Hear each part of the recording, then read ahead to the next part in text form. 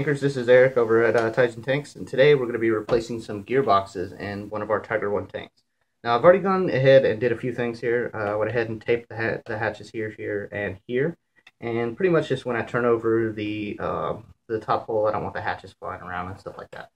Um, I've already disconnected the top hull, um, and I've also, there we go, um, I've also taken off the tracks already as well. There, I already have a video on how to take off tracks. Um, look at our YouTube page and uh, look for how to remove tracks. I've also taken the little bar off right here. Uh, the only thing I did is just unscrewed one screw right here. Um, it's just a little stress bar that keeps the, the whole fenders up nice and neat. So I just moved that off to the side. You only have to remove one. Uh, next, what we're going to do uh, is replace these drive wheels. Uh, we're going to go ahead and pull these guys off. Um, they will probably be stuck um, I will show you guys an easy way to get off the drive wheels from the shafts. Our shafts are a little bigger than some of the other cheaper ones around, so it's a little bit better fit, um, which is sometimes a little pain in the butt to remove, but I'll show you a trick to do that. Um, so uh, I've also already went ahead and removed the caps for the drive wheels as well. Just go ahead and use yourself a flathead screwdriver to get that off. Um, you will need a uh, 3 millimeter for taking off the drive wheels here. So what I'm going to go ahead and do is just unscrew this guy here. Now the top piece should come off fairly easy, just like that. Now if we're lucky, the bottom piece will come off fairly easy. Um, this one's starting to come off, but I'm going to go ahead and leave it on there so I can show you guys the trick. Uh, so this side we're going to do the same. I don't drop my tools everywhere here. Once again, this is just a 3 millimeter. Nothing special, huh? So that one came off really easy. Let's see if this comes off. Alright, it's starting to, but this one's a little tighter than the other. So, now we have the outsides of the drive wheels taken off. We just have the insides left. So the simplest way to do that is to go ahead and unscrew the gearboxes and tap out from the inside of the gearboxes. The way these shafts work, I'm going to show you guys the uh, what I'm going to replace with here is we've got a flat on the shaft right here. Okay. And this flat right here is where the drive wheel is sitting on. And uh, what we're going to do is we're going to push with our two and a half millimeter here. Actually, this is two. We're going to do it with a two and a half. And we'll push it through the drive wheel and it'll go all the way down here and we'll press down on the gearbox to press it out and not hurt this drive wheel at all. Okay.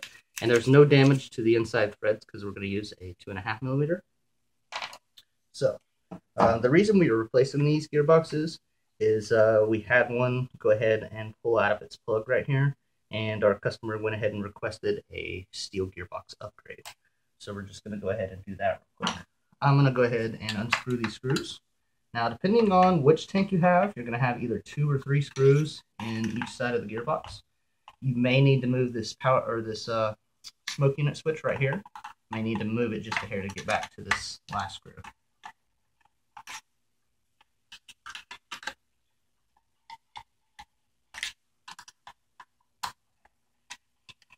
Now, when you take these gearboxes out, guys, um, when you make sure you pay attention to where these screws are.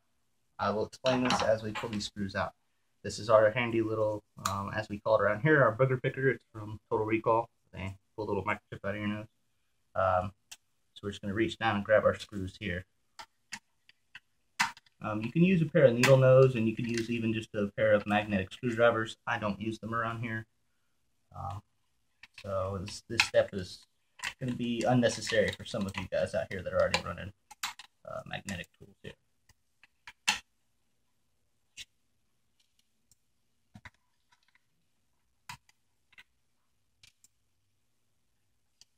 Okay, so now our gearboxes are completely loose, both of them in here. Now, once again, there's the easy way to get them out is to lean it on its side here. Now the gearbox is free flowing here, okay? So the only way that it's staying in here is by this drive wheel on the outside. So we're gonna find our uh, two and a half here. We're gonna put it in there. Once again, that's a two. Um, so we're gonna find this guy here and just stick it in, and that's just how we're gonna leave it. Now I have a jeweler's hammer here. Um, you know, go ahead and insert your tiny hammer joke here. Um, but we're just gonna give it a few taps Don't do more than two or three at a time. Uh, you will feel it as it goes. Um, there's our drive wheel. So we took off the drive wheel with no damage at all. The drive wheel, no scratches, no anything, and the gearbox is loose. Now carefully turn it back over on the other side, and we're going to do that once again. Now this one is probably going to take a few more taps. Once again, two or three taps at a time, not hard. Okay, now I can feel that moving each time I hit that. So I know I've got just a little bit left here. And that's it.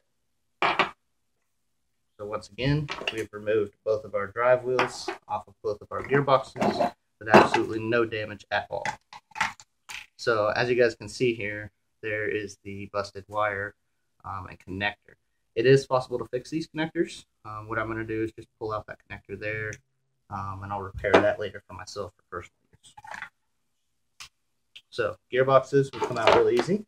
Now, if you wanted the stock gearboxes, you would go for this tank anyways, guys. Every tank has its own gearbox, so please call us if you're not sure which one you're going to get.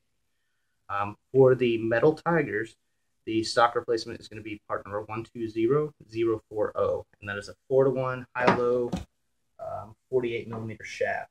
Now, what I'm going to be replacing it with is the 120024 which is our steel gearboxes and a high-low 48 millimeter uh, shaft with four to ones.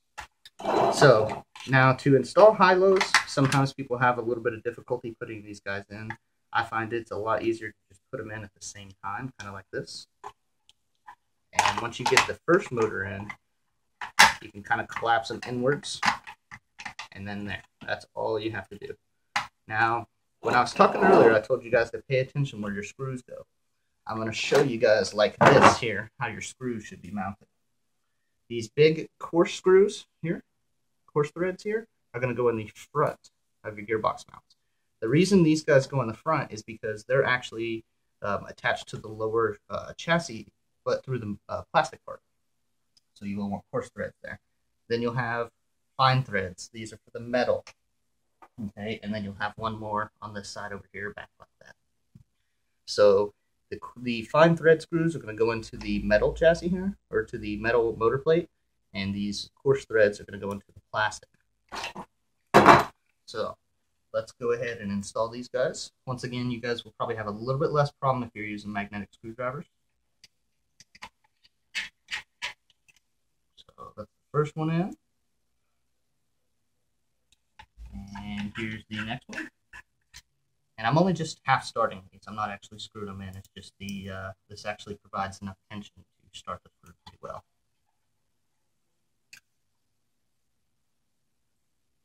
Alright, so after this one, we'll just have one more screw.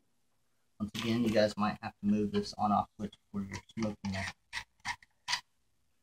And then one screw here. Alright. Now we'll just tighten these up. Now these front guys, don't tighten these too much. Once again, those are going into plastic. So make sure you just, you know, just kind of hand tight, don't over tighten those. Now the other screws, which are the fine threads, you can get those a little tighter because those are going into the metal motor plate on the bottom. And then make sure you move your power switch back into its original position when you're done. And then we can hook up the motors there. And run this one over here. And that's it.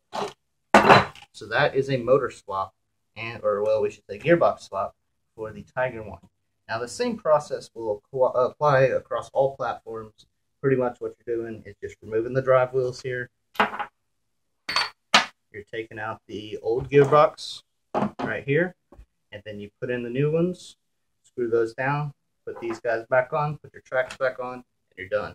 Shouldn't take you more than about 20, 25 minutes on your first attempt, and most of that will probably be just examining it, seeing how it works. Um, after you've done this once or twice, this should take you probably about 10 minutes or so. Um, if you guys are familiar with any kind of RC work, it should take more than 10 or 15 minutes. Um, if you guys need anything else at all, um, we are available uh, at TaigenTanks.com. Just go ahead and hit the contact page and send us an email.